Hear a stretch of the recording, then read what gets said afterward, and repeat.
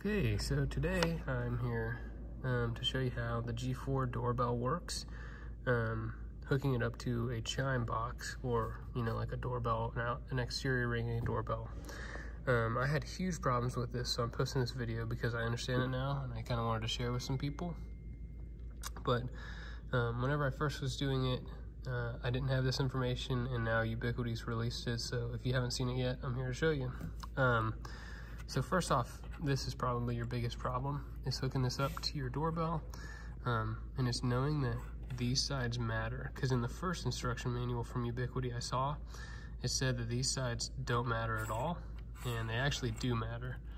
Um, so you have to pair up the left with the left here, and then the right with the right here, and then um, whenever I was doing it, I was doing this example, which I've linked this sheet in um, in this YouTube video.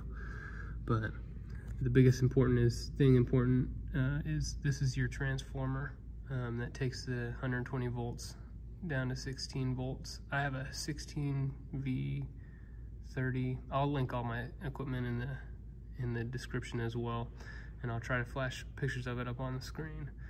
Um, but this has to go to the left side here, and then it goes into that little this little box right here, and then comes out of the left side and goes into the transformer part of your doorbell. This is your doorbell right here, and they normally have a little square.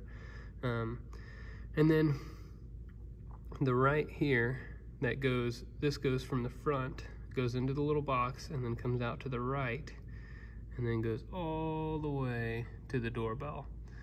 Um, and then the doorbell goes all the way up to the transformer. So I'll kind of show you pictures of how I did it at home. And the first time I hooked it up, uh, the doorbell I had was broken, so I had to buy a new one. And so I'll link the new one that works just well with this one. Um, and so yeah, just remembering that these sides correlate. So left side matters and right side matters. So really pay attention to that whenever you're going through this document. I didn't have this document whenever I was hooking up the doorbell, so I definitely busted a doorbell. But thankfully they refunded it or returned it and got me a new one. So anyway, hope this helps. Thanks.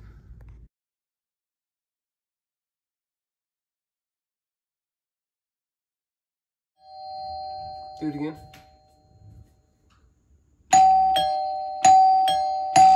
That's good.